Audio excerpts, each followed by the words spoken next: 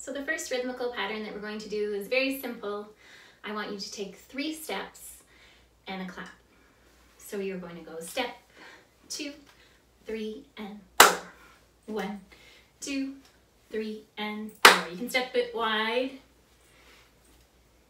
and bring it in. Any way your feet want to go.